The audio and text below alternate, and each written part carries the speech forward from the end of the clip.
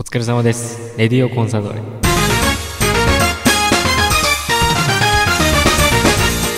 北海道コンソール札幌クラブオフィシャルラジオ番組レディオコンソドーレこんにちは MC の山形翼です。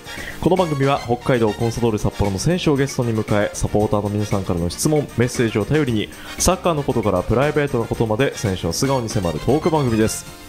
それでは今回の出演選手に登場いただきましょう。今回出演いただくのはこの選手です。こんにちは。北海道コンサドーレ札幌、背番号40番、出馬指導です。出雲選手はい。お疲れ様ですお疲れ様です。3本目のタイトルコールははい。こんばんはではなくはい。おお疲れ様です。そうですね。ちょっと外してきたね これ多分大体のサポーターが「おはようこんにちは」と来たらこんばんはですね。こんばんはで来るかと思いきやねえちゃんと社会人の皆さんに声をかけるおそうです。疲れ様ですはい。もうこの番組あの放送はラジオは10時からなんです朝の、はい。だけどポッドキャストってね、あのいろいろその後録音で聞けるサービスもあるんですけど、これがね19時配信なんではい。まさにお疲れ様ですお疲のれ様です。ですね。えー皆さん疲れた体を、えーゆっくり癒しながら このゆるすぎるレディオコンソドーレはい。3本目になるともう本当なんかすごいゆるさがね、はいえー出てきますけども、はい前回は、えー、出馬指導選手のふるさとはい。藤野のお話をそうですね。いっぱいしましたけどはい。そうだ出馬選手はあのコンサドーレにも藤野の仲間がいるのはご存知ですか？スタッフですね。はいはい。であの西村さんからそれこそ出馬選手がトップ昇格するっていう話を聞いた時に藤野からスターが誕生しますよって すごい喜んでるのを思い出ししました、はい。自分がは中学校行くときい、うに、ん、その家通りますもん。西村家？はい。西村家の実家ってことですよねだからねまあそうですね。西村はい。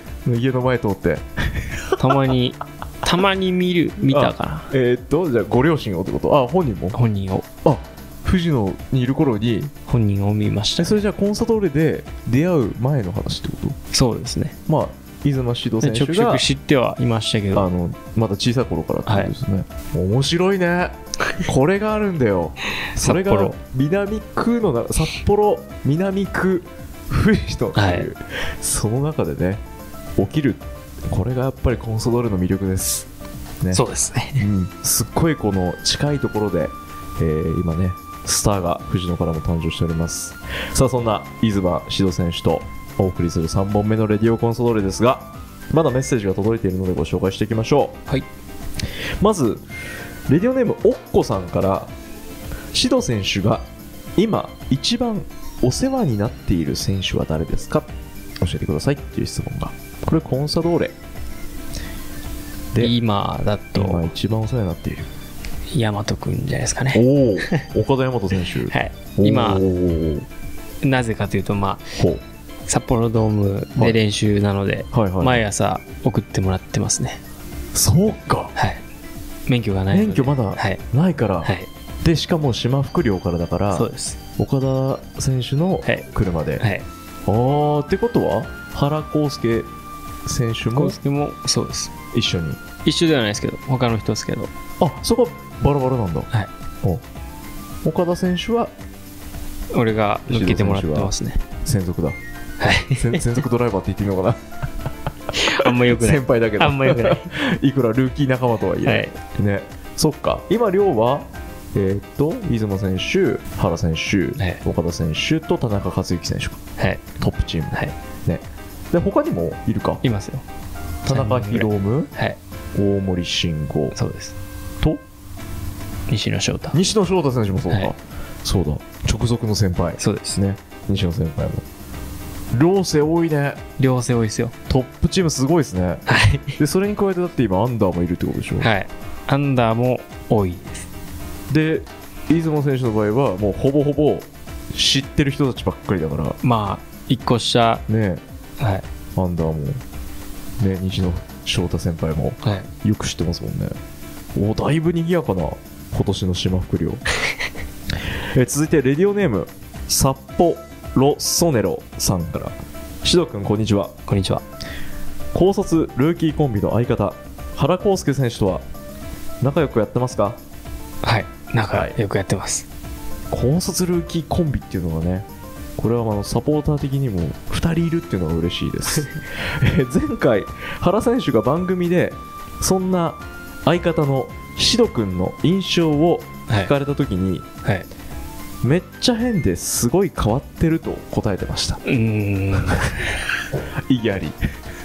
意義は。いやそんなないかな。そんなないのかい、もう変わってはないですけどね、めっちゃ変ですごい変わってるってほぼ同じ意味だからね。同じこと2回繰り返しちゃってるけど。それぐらい変なのかうんな、変じゃないですけどね。ね。はい。僕は今のところそんな感じ全くないそうですよね。えー、シド君から見て原選手はどんな印象ですか？しっかりしてそうに見えてうん。あまりしっかりしてない。えそんな一面あるんだやっぱり。ないなんか一つうん。言うと、うん。部屋が汚いとか。お！マジっすか？少し汚い。少し汚め。おお島福寮のはい。部屋が。えそれ物が多い？それとも物が多いのかな？なんかいや普通にちゃんとしたところに縛ってないとか？それもありますね。それもある。なんか片付けができないみたいなことは本人は言ってましたけど。えー、あ自覚してるんだ。一応ちょっと。うん。それはシド選手からなんか言ったりは？いやそんな注意とかは全然しないですけど。見たら「あ来たな。来たな。あ 来たな。あーって。入った時に。はい。思って。そうです。ああ片付けるとこまでいかないんだ。いかないです。あで彼がなんか自分で。取材でうん。部屋とか見られるとかだったらまあ多分真面目に片付けますね。あのーまあ代々先輩たちの中にもまああのサポーターの皆さんは結構島福寮のあの突撃取材とかではい。たまに部屋を見ておーっておなったことも 過去もありましたけど、あるんじゃないですかね。原選手の部屋もなりそう。うん。まあなりそうではあります。はああちょっとい。怪しめっちゃ来たなってほどではないと思うんですけどね。いいいいね。収穫があった。本当ですか？うん。これはもう指導選手からじゃないと出てこない。あ意外にやっぱそういうところもあるんだね。ありますね。よかった。安心した。続いてレディオネーム俺のハートに火をつけろさん。出馬選手翼さんどうも。どうも。どうもずっと小さい頃憧れのコンサドーレの選手はいましたかっていう質問。おおなるほど。小さい頃あまりサッカーを見てなかったっていうか。おもうプレーに必死。そうですね。でも新次さんとかはうんうんうんうん。自分が小学校の頃にまあ一回試合見に行ったんですよ。はいはいはい。自分の友達とプライベートで見に行ってして偶然出くわしたんですよね。おはい。新次さんにしてサインと写真撮ってもらったっていう記憶はあります。ああいいね。それ小学生の時？はい。それはコンサドーレの仲間たちと一緒にプライベートで？いや違います。本当に友達？本当に地元の友達と友達、はい。一緒に？はい。えー、え？出雲選手が小学生の時だから今からあ何歳？年何年前？でもいや何年前って言ってもそんなに昔でもないよね。うん出雲選手からしたらだいぶ前なのかな？だいぶ前ですよ。ね。と僕からしたらあんまりそんな前じゃないんだけど。当時ね。自分からしたらうん。めちゃくちゃ前ですよ。結構前な感じ。はい。の小野伸二選手小野伸二さんとサインと写真を。そうです。試合は見に行く機会ってありました？プロになる前。いや全然コンサの人たちとみんなうでんチームで行ったりあああのアンダーの仲間たちとはい一緒に行ったりね、それこそボールパーソンとかは？は一回経験あります？あったような気がするんですよね。ドームで、はい。でもうん、ピッチにボール出すんじゃなくて、うん。下のあのボール供給係ね。はいはい。あの遠くに出ちゃったやつピッチサイドに出ちゃったやつをピッチサイドに構えてるボはい。ールパーソンに、あはい。渡す係飛んできたら取って。あの時でもいたんだ。いました。どこかの試合で。そうです。ああそうこういうのがねやっぱりずっとコンソールにいるとならではの話ですね。俺のハートに火をつける活躍を期待していますと。はい。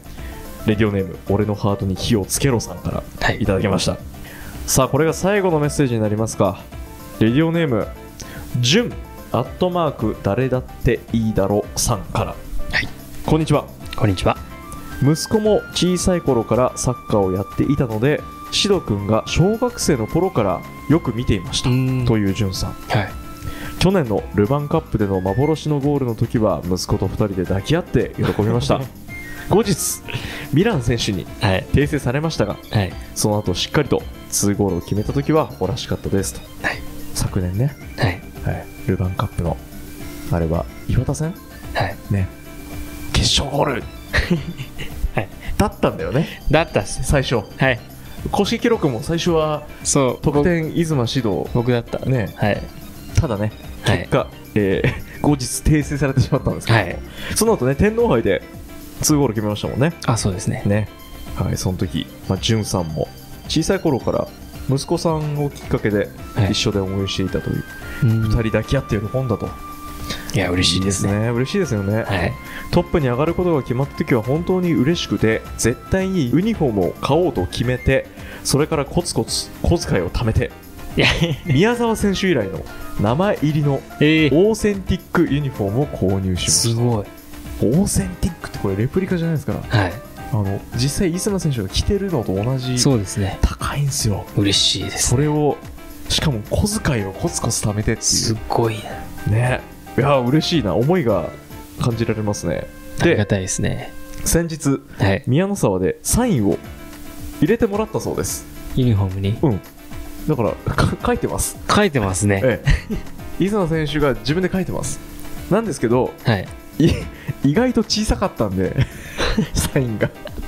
本当ですか？また宮の沢に行った時には改めて大きく書いてくださいあお願いします、はい。一緒に引っ張りましょう。というそうね。